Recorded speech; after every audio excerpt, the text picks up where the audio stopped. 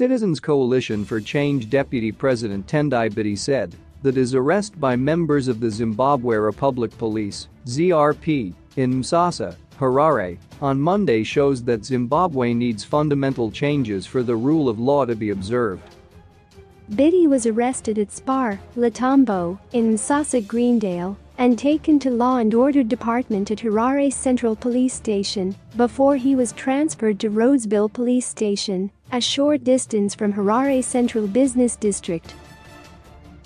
Following the intervention of the Zimbabwe Lawyers for Human Rights, ZLHR, Biti was released without a charge.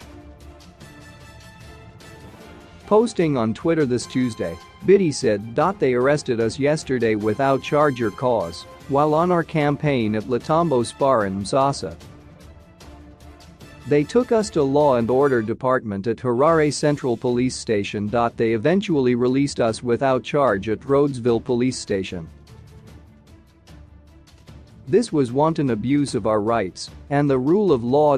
Yesterday's events demonstrate why real and fundamental change is required in Zimbabwe. A brand new consensus based on putting citizens first based on trust, justice equality and inclusiveness. We are however grateful to Zimbabwe Lawyers for Human Rights, ZLHR, lawyers, Tino, ID, the indefatigable Alec Muchadehama for help. We express our indebtedness to countless citizens all over for their love and concern. We express gratitude to journalist Hopewell Chinono, the Newshawks, Makambarero Haruzovic and many others. They can bend us, kill us or detain us, but there will be a change in Zimbabwe and soon. We shall never give up. Zikomo Zikomo. Biti was arrested while on a meet and greet campaign as he is the CCC candidate for Harare East constituency in the 26 March by-election. His arrest comes after ZANU-PF held a rally in Epworth on Saturday which was attended by thousands of people.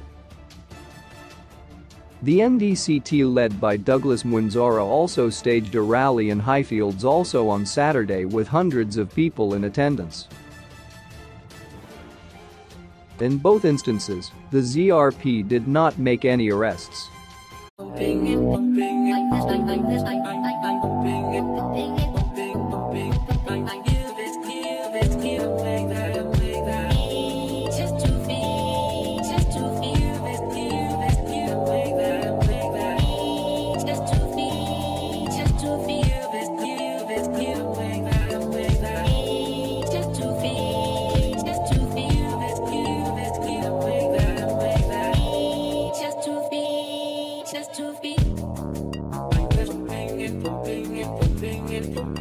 Bang the street, bang the street.